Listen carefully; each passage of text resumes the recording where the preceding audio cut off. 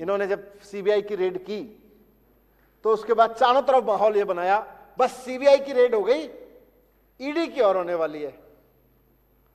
मैंने कहा सीबीआई कुछ पकड़ नहीं पाई तो भाई जिस घर में से सीबीआई कुछ नहीं ढूंढ पाई ईडी ईडी क्या ढूंढ लेगी हो सकता है? ईडी के पास कोई और एक्सपर्टीज हो?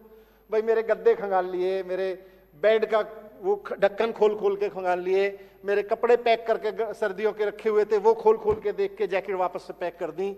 अब सीबीआई उसमें से कुछ नहीं ढूंढ पाई। जैकेट वाले उसी बैग में से, स्वेटर वाले, लाल स्वेटर वाला बैग है वो मेरा। लाल स्वेटर वाले बैग में से, जिसमें से सीबीआई खोल खोल के कुछ नहीं ढूंढ पाई। ईडी क्या ढूंढ लेगी, मुझे समझ नहीं आया, पर बोले, जी ईडी की भी रेड होगी, मैंने वो भी करवा लो भाई। ईडी की भी रेड देख लेंगे। अब ये सीबीआई की रेड और ईडी की रेड का इन्होंने इतना प्रेशर बना दिया, इतना चारों तरफ़ से कि बस सीबीआई तो हो गई, अभी ईडी होगी, फिर एक आदमी मेरे पास मैसेज लेके आया। बोला, देखो, ये सीबीआई रेड और ईडी की रेड में ना अब तुम्हें फंसाने वाले हैं। मैंने कहा, फंसा तो दिया ही, फर्जी फंसा रहे हैं, मुझे पता है, पर शुरू तो करी दी। बोले, नहीं नहीं, पूरे ज़िंदगी सड़ाएँगे। मैंने कहा, सड़ा दें। अभी थोड़े दिन पहले ही मैं तो नौ साल पहले एक मुकदमे से निकला हूँ, फिर नौ साल झेल लूँगा, मुझे क्या दिक्कत है, जब फर्जी है तो। बोले, नहीं नहीं, जानते नहीं हो तुम इनको। बहुत खतरनाक लोग हैं। बोले, इनको इस तरह से मत लड़ो। ये केजरीवाल जी का साथ छोड़ के इधर बीजेपी में शामिल हो जाओ। सारे सीबीआई और ईडी तुरंत बंद हो जाएँगे, सारे केस खत्म हो जाएँगे।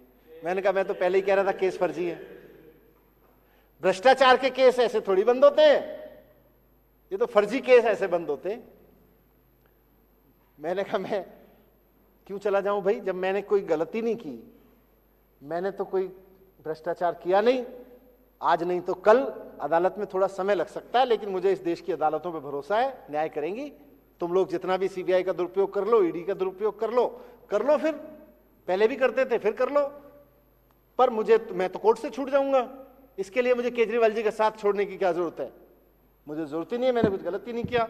तो बोले, नहीं नहीं, आप समझो इस बात को, मनीष भाई। सीबीआई और ईडी के रेट तो खत्म कराने की बात है ही है। हमें भी पता है, ईमानदार हो, छूट जाओगे।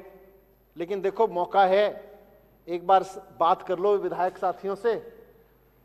देख लो कितने विधायक हैं आपके साथ। मुख्यमंत्री बनवा देंगे। बोले, जी, कितने तोड़ सकते हो? मैंने कहा, पहले तो मुझे खुद को तोड़ना पड़ेगा। मैं खुद टूटने को तैयार नहीं हूँ। मैं अपने साथियों के बारे में क्या करूँ? इन खबर चैनल को सब्सक्राइब करें।